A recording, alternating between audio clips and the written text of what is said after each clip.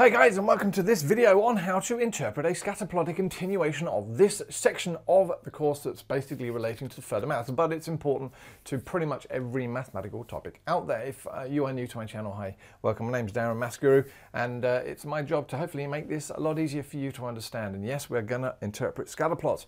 If you haven't already done so, and I know it's early in the video, but if you can click the subscribe button, it just lets me know you're watching. Greatly appreciated that you're out there sort of hoping to get better at mathematics and hopefully I can help you do that.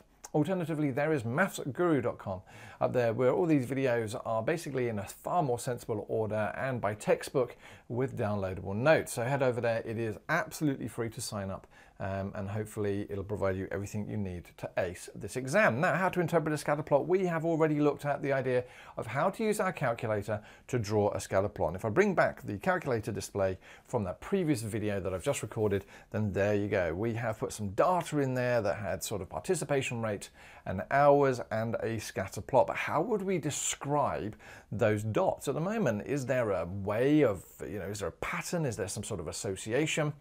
Well, the great thing about scatter plots is you can use three different things to actually describe them. Four if we include outliers, let's not rush ahead. So in previous lessons, we have looked at how to associate various things. We've had uh, categorical and categorical, categorical and numerical, and now we're dealing with numerical and numerical because that is what the rest of this course is going to look at. We've drawn some scatter plots. We're now going to look at describe them. There are four main types of patterns in scatter plots, and I've listed them here. Number one, no clear pattern. That is where the kisses are quite literally all over the place. It's like my sort of eight-month-old daughter had just put loads of kisses all over a page. There's no pattern to that whatsoever. Dots seem to be heading with a linear positive gradient. Now we know that gradient, because we've been dealing with this previously, is where a positive gradient is where effectively it seems to be sloping up. Uh, dots seem to be heading with a linear negative gradient, all right? So linear again, what does the word linear mean? Line, so linear negative gradient would suggest that my points are in some sort of line, this time heading down and dots which seem to have a non-linear association. So non-linear would suggest that we have some sort of curve, for example. Now, we will be dealing with all of these and how to analyze them throughout the rest of this course. So, summary book, vitally important at this moment in time. So, we need to be able to describe scatter plots using the correct terminology. And as we say here, we say direction, form and strength. Now I put outliers there second. Generally speaking, you will discuss those or you'll add a sentence to your report outside of the direction, form and strength. So you'll generally say there are no clear outliers or there are outliers, end of. Now if there are outliers, you'll give an example of one, but let's not rush ahead. So we're going to deal with these in turn. Direction, form, strength. Come back to outliers. So let's talk about direction. not one direction. The puns don't get any better. I know, I'm sorry. But we're looking for the idea of, is this thing sloping up, sloping down, or is there absolutely no association whatsoever? So going back to those four graphs I did a moment ago, and here's some examples from the Cambridge Essential, sorry, the Cambridge Further Maths textbook series. In this situation, we can see that basically those dots appear all over the place. Yes, there doesn't seem to be any of them all heading towards an upwards, all heading towards a downwards. And so in this situation, because there is no consistent change in the value of the response variable when the value of the explanatory variable increases, there is no association. Now, generally speaking, we like to describe things as, as age increases, height increases. Now that situation, that would lead to some sort of positive gradient, right? Some sort of positive association. Likewise, if age was increasing, but height was decreasing, then hopefully you would notice that that would be coming down the other way. So that is no association.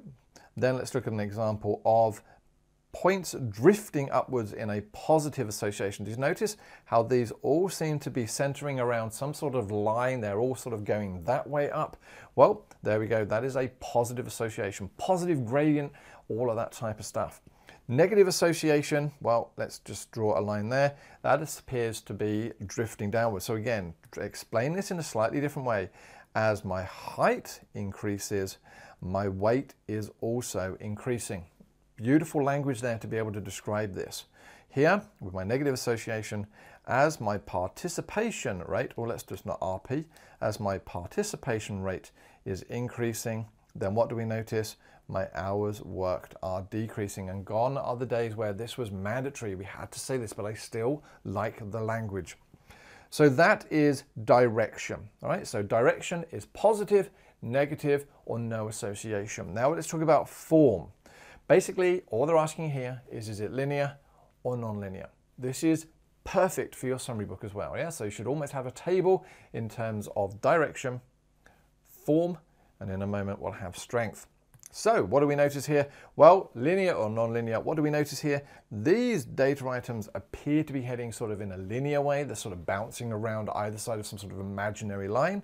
Likewise, this one here, not necessarily as clear, but generally speaking, we would say that was linear. But not here. We would notice that these data items append, attend, or uh, uh, uh, what am I trying to say? They appear, there's the word, to be curving. Uh, this is about the ninth video I've recorded today. I think my brain's going a little bit mushy. My apologies. All right, so now we have something else to describe, linear or non-linear. The last one uh, is strength, and that's really important. Now, again, this uh, table I'm going to show you in a moment helps us describe the strength of a relationship. Now, the way we do that is we use something called the correlation coefficient, and this can all be worked out from a scatter graph. I'll show you very quickly in a moment, although this is going to be a lesson coming up. This correlation coefficient can also be called Pearson's correlation coefficient, all right? So Pearson's, they'll put that into an exam to try and throw you, because suddenly you go, well, who's Pearson? Where did he come from? All right, or she, could be. When we look at a scatter graph, we can do a mathematical calculation on all of those points and come up with a value that falls somewhere between minus 1 and 1. Negative values are for negative linear associations. So for graphs that slope down, we have a negative value. Now that's normal because we know that graphs that slope down have a negative gradient. Graphs that slope up have a positive value. And hopefully you would realize that a zero value would mean that there was no association whatsoever. This table is vitally important. It's in the Cambridge book, it's going to be in these notes, by all means copy it down. But we can now classify scatter plots and describe them using the values of R that we get from calculations. And if we have a value of R that falls between 0.75 and 0.99, then what we can say now is it has a positive, sorry, a strong positive association. Your third math exam will be looking for this specific wording. So it is a no-brainer to me. You can just put this in your summary book, see the question, and bang, thank you very much. Here's an easy mark. We'll notice that the words weak, moderate, and strong are used. So we can have weak positive, moderate positive, and strong positive. We can have weak negative, moderate negative, and strong negative. And so let's have some examples. Here are some examples of graphs with linear relationships. Now, I haven't got values of R on all of them uh, because I'm going to put them on now. So here we go. This first graph here, what do you reckon? No association whatsoever. So in this situation, we would expect an R value of zero. This here is a perfect straight line. Those points are perfect. And so in this case, my R value would be one. That R value of one means they are perfectly in a straight line. This one here would be an R value of minus one. Why? Because this one here is sloping down, this one is sloping up. So this would have a positive R value, this will have a negative R value. The rest of them, well, these two graphs here, R equals minus 0.3. Yes, minus because these graphs seem to be heading in a downward slope. Why is it minus 0.3? Well, they're fairly far away from that graph, right? They're fairly spread out. And so the more spread out they are, the smaller this value is, or the closer it's going to be to zero. Here you'll notice that this here is a positive value of R. It's 0.9. Why? Because those points are much, much closer to that line. Now, one of the things that exam will also ask you is to make sure that when you are using uh, scatter plots that you are appreciating or when you're using the value of R, that your variable is numeric, the association is linear, and that there are no outliers. Hold on a moment, what is an outlier? Well, an outlier we've met before, it's that value that just doesn't seem to fit with everything else. And an example in the textbook That was an outlier, apparently.